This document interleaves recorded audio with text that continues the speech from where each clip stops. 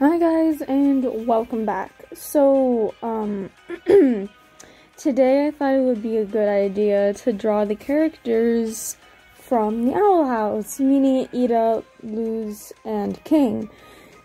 Um, but I decided to draw them as wolves because I can't draw humans. Uh, King wasn't changed too much because he is practically a wolf himself, but he's very tiny, so I made him tiny. Uh, so I thought it would just be fun to share with you guys. So here's the speed draw, and I'll do a little bit of a voiceover over it. So first I started with Eda, and the reason I made her have like this mane-like thing is because of her hair, which is very puffy. Um, and yes, I did draw on paper first, just so it would be a better, uh, be kind of like a template. Um, so I just drew over the lines. I did all the line art first, like you're supposed to.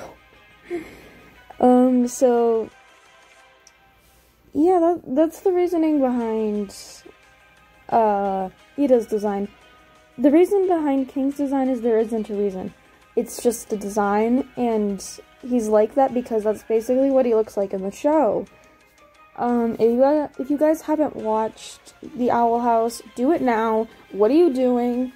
You have Disney Plus. If you have Disney Plus, just how have you not watched it? Okay. Um, so then I moved on to Luz. And I just I tried to kind of capture her personality and her face. I don't know, it was it was kind of hard but I was able to do it. Um, and I'm pretty happy with this drawing.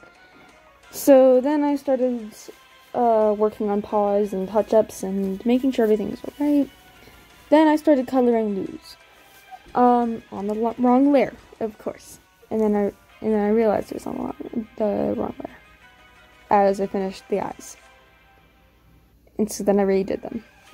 Um, Luz ended up being the only one that I did on the right layer.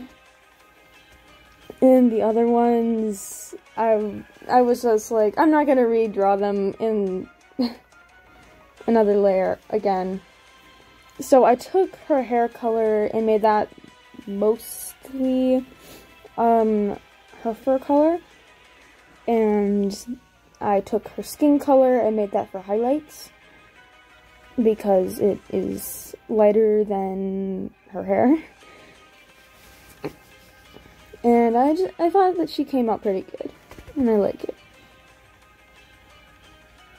Then um, I accidentally turned off my phone and had to restart my recorder, and um, then I started on Eda. And I just, I don't know why I made her like this. It, it, I like it though. And then I had to go scouring my images for that picture of King I drew. And I just tried to follow his design as closely as possible.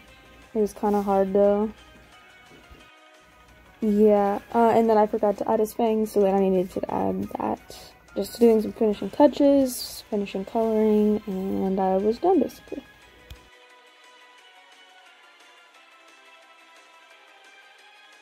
And here is the finished drawing.